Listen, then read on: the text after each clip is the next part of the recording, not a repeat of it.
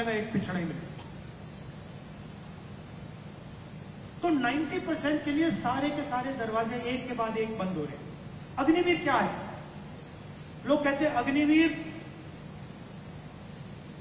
जवानों के लिए स्कीम है। अग्निवीर हिंदुस्तान के 90 परसेंट लोगों के हाथ से पेंशन छीनने का स्कीम है। पहले अगर एक युवा आर्मी में जाता था, जवान बनता था तो देश उसे उसे कहता था कि देखिए, आपने देश को अपनी ज़िंदगी दी है, हम आपको प्रोटेक्शन देंगे, हम आपको पेंशन देंगे कैंटीन देंगे, और अगर आपको कुछ हुआ, अगर आप शहीद हुए तो हम आपको कॉम्पेंसेशन और शहीद का दर्जा देंगे। ये कमिटमेंट था हिंदुस्तान की सरकार का। और उसमें ज़्यादा से ज़्यादा 90 परसेंट लोग हैं।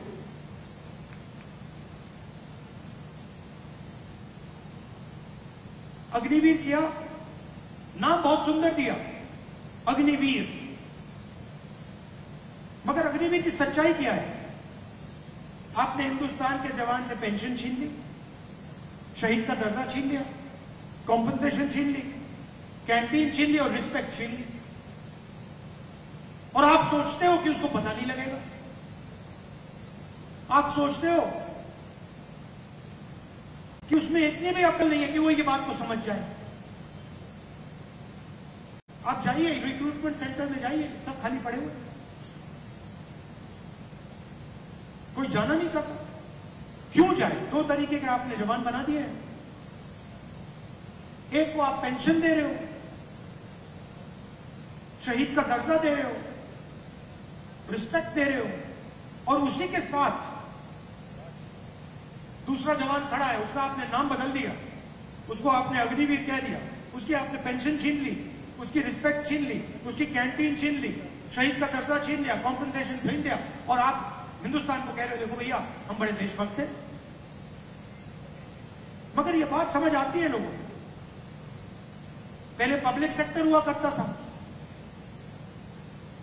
पूरा का पूरा प्राइवेटाइज कर दिया। पहले उसमें रिजर्वेशन थी।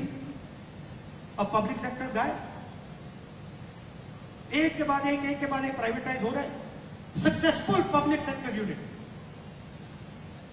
जो चल रहा है प्राइवेट सेक्टर से कंपीट कर रहा है।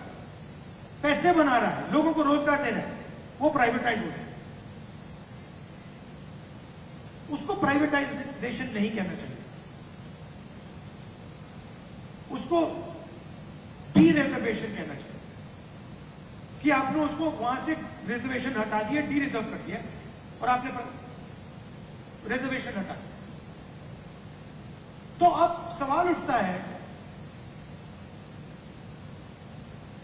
कि सालों से आरएसएस और बीजेपी ये काम कर रहे हैं।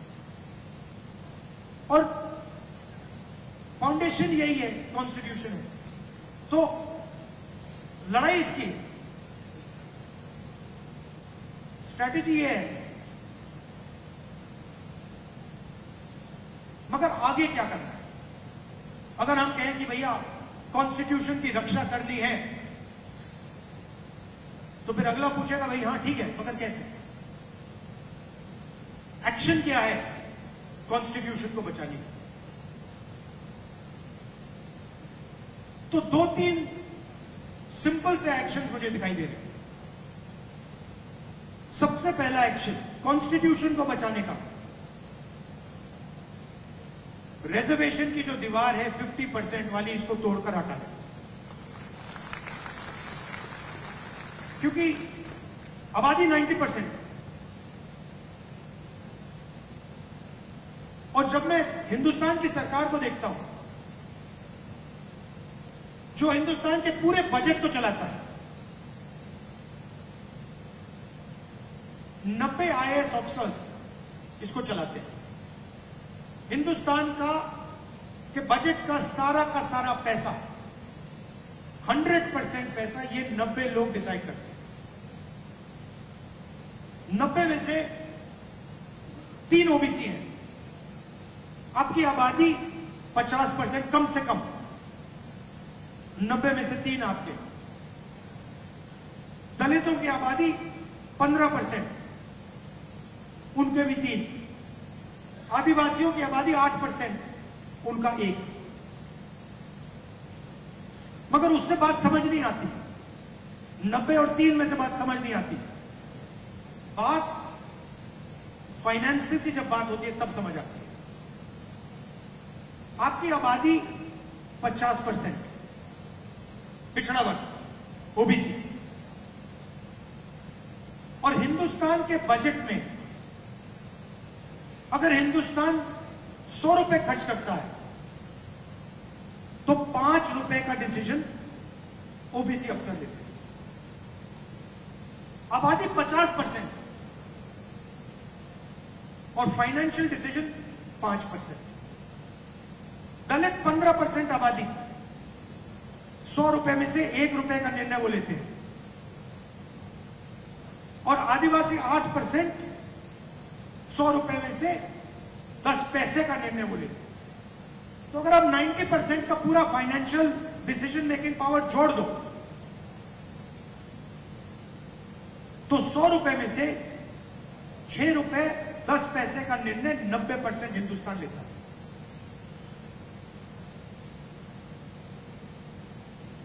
छह रुपए, दस पैसे, सौ रुपए में से नाइन्टी परसेंट डिसाइड करता है। तो दो चीज़ें तो बिल्कुल साफ़ है। और मैंने पार्लियामेंट में कह दी है। और वो शुरुआत है। पहला कदम ये जो बैरियर है पचास परसेंट का, इसको कांग्रेस पार्टी और इंडिया गठबंधन लोकसभा राज्यसभा में बदलेगा। और हम मतलब ऐसे वायदे नहीं करते हैं। आप जानते हो जब हम कुछ कहते हैं, हम करके दिखाते हैं।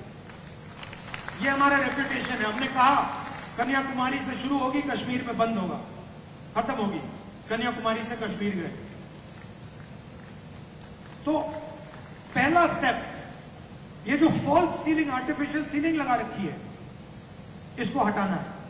और दूसरा स्टेप जिसको मैं क्रांतिकारी स्टेप कहता हूँ, जाति जनगणना।